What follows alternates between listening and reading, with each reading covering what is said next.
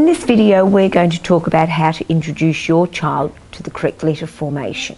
At Parkridge we use the Sassoon font as our preferred script which has both an upper and a lower case.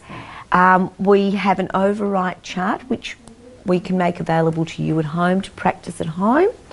Um, ideally, it would be great if the sheet can be laminated or in a protective cover such as this so that it can be reused over and over again with a whiteboard.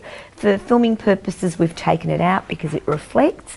So this is to give you an idea of how we do it.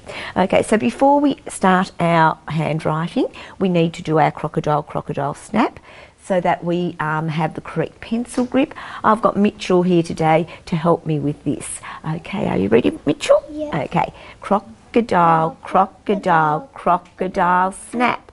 Turn him round and lay him on his back.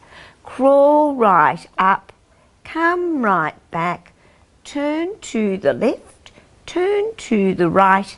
Now I'm ready to start to write. Okay, so we're going to start with letter A. Down, lift, down, lift, across. B. Down, lift, around, around.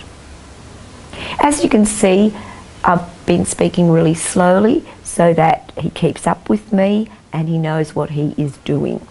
So then we'll go on to the rest of the letters, which will go all the way to Z before we turn over and do the same process on with the lowercase formations. The reason why it's really important to have correct letter formation is for children to know which direction the letters go in, their size, starting points, and for writing fluency.